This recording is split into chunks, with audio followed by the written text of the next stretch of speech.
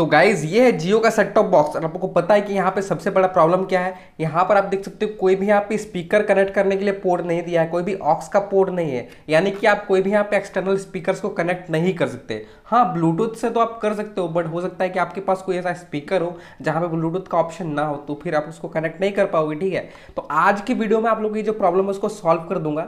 आपको कैसा ट्रिक बताऊँगा, जिसके थ्रू आप कोई भी स्पीकर कनेक्ट कर सकते हो। ब्लूटूथ को तो आप ऐसे भी कर ही सकते होगे बट यहाँ पे आप जो है एक्सटर्नल स्पीकर जिसमें ब्लूटूथ नहीं है ऑक्स केबल के थ्रू यहाँ पे कनेक्ट कर सकते हो, ठीक है? तो कैसे करना है, क्या करना है, इसी वीडियो में आप लोगों को बताने वाला हूँ। तो चलिए इस वीडियो को शुरू करते हैं। तो गई यहाँ पर देख सकते हो कि हमारा जो सेट टॉप बॉक्स है, यहाँ पर स्टार्ट हो चुका है बट आप यहाँ पर सुन सकते हो कोई भी साउंड नहीं है, ठीक है? तो आप यहाँ पर देख सकते हो कि इस वाले स्पीकर को मैं आपको कनेक्ट करके दिखाऊँगा इस वाले सेट टॉप बॉक्स से। और इसका आप यहाँ पे केबल देख सकते हो, इसका जो केबल है वो ऑक्स केबल है। और यहाँ पे मैं इसको इसमें कनेक्ट करके दिखाऊँगा, ठीक है? और ये आराम से काम करेगा, कोई भी दिक्कत नहीं है। अगर आपके पास भी कोई भी स्पीकर है, उसको कनेक्ट कर सकते हो। फ़िलहाल मैं ये छोटा वाला कनेक्ट करके आप लोग को दिखाता हूँ। तो गई इसके लिए आपको गैजेट चाहिए होगा जो कि काफ़ी सस्ता मिलता है तो मैं आपको यहाँ पर दिखाता हूँ। और ये आपका है कार ब्लूटूथ म्यूज़िक रिसीवर ठीक है? आप तो आपको इस गैजेट को यहाँ पे परचेज़ करना है, जो कि आपको इसका जो लिंक होगा वो वीडियो के डिस्क्रिप्शन में दे दूँगा। आराम से आपको सौ, डेढ़ सौ के अंदर में आपको ये जो गैजेट है वो मिल जाएगा, ठीक है? तो आपको दिखाता हूँ कि यहाँ पर आपको क्या क्या मिलता है। तो सबसे पहले जो है ये इसका मेन डिवाइस ठीक है? यहाँ पर आप देख सकते हो कि कुछ इस तरह का ये दिखता है। यहाँ पर देख सकते हो, यहाँ पे ऑक्स केबल लगाने का ऑप्शन है और यहाँ पे जो है चार्जिंग जो है केबल वो लगाने का ऑप्शन है, ठीक है? उसके बाद यहाँ पे आपको कुछ कनेक्टर्स मिल जाते हैं, जिसमें सबसे पहले जो है आपका एक ऑक्स टू ऑक्स केबल का कनेक्टर आप लोग को यहाँ पे मिलेगा केबल मिलेगा, ठीक है? और यहाँ पे भी एक छोटा सा आपको कनेक्टर मिलेगा। इसके साथ आपको एक यहाँ पे चार्जिंग केबल मिलेगी, एक U to micro S B cable आप लोग को जो है, वो मिलेगी, ठीक है? चलिए आपको दिखा देता हूँ कि ये काम किस तरह से करता है और आपको इसको कनेक्ट किस तरह से करना है। तो गाइज़ मैंने इसको ऑन करने का कोशिश किया बट इसमें जो है बैटरी खत्म हो गई है, इसीलिए स्टार्ट नहीं हो रहा है। तो आपको इसको स्टार्ट करने के लिए बस इसको बटन को आपको इस तरह से प्रेस करके रखना है, ठीक है? अगर ये ऑन नहीं होता तो आपको क्या करना है? कि आपको इसको चार्ज करना है। यहाँ पे मैं आपको दिखा देता हूँ चार्ज करके। इसको आप डायरेक्टली सेट टॉप बॉक्स के थ्रू भी चार्ज कर सकते हो बिकॉज़ यहाँ पे देख सकते हो कि यूएसबी का पोर्ट दिया गया है। तो सिंपली आपको क्या करना है कि यूएसबी पोर्ट में आपको जो है इसकी केबल को इंसर्ट कर देना है, और इसके बाद इसको यहाँ पर लगा देना है, ठीक है? तो गाइज़ यहाँ पर देख सकते हो कि ये चार्जिंग होना स्टार्ट हो गया है। यहाँ पे एक रेड कलर की जो एलईडी है, वो यहाँ पे जल रही है। यानी कि अभी ये चार्ज हो रहा है तो उसको थोड़ी देर चार्ज होने के लिए देते हैं। तो गाइज़ अभी तक ये चार्ज हो गया होगा तो इसको चलिए आपको ऑन करके दिखाता हूँ। तो इस बटन का आपको बस सिंपली इस तरह से आपको प्रेस करना है, ठीक है?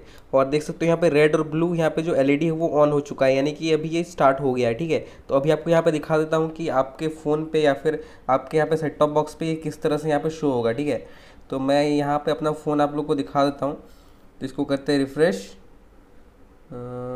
और यहाँ पे देखिए कुछ ब्लूटूथ म्यूज़िक करके आएगा, ठीक है? तो अभी मैं अपने फ़ोन से इसको कनेक्ट नहीं करूँगा बिकॉज़ मुझे फ़ोन से तो करना नहीं है। मुझे करना है सेट टॉप बॉक्स से, ठीक है? उससे पहले इस स्पीकर को हम लोग यहाँ पे कनेक्ट कर लेते हैं। तो इसका ये जो केबल है, इसको यहाँ पे लगाना होगा। तो यहाँ पर आप देख सकते हो कि यहाँ पे जो है जो केबल है, यहाँ पे लगेगा, ठीक है?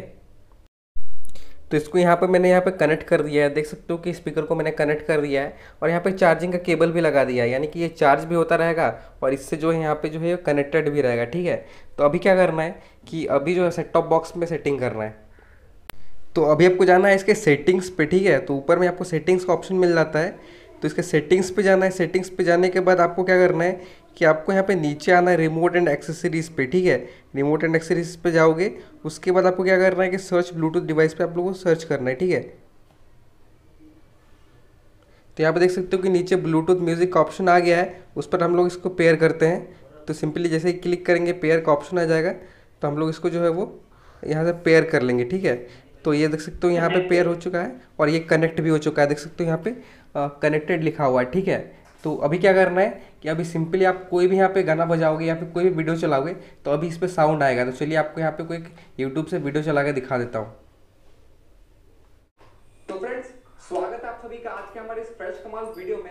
और आज का जो वीडियो वो काफ़ी इंटरेस्टिंग होने वाला है क्योंकि आज की इस वीडियो में हम जो है इस पुराने वाले टीवी को स्मार्ट टीवी में कन्वर्ट करने वाले हैं। जैसा कि आप देख सकते हो, ये जो टीवी है, पुराने, बहुत ज़्यादा पुराना है। एक्चुअली ये पंद्रह साल से भी ज़्यादा पुराना है। मतलब बाबा आदम के जमाने का टीवी आप बोल सकते हो, ठीक है?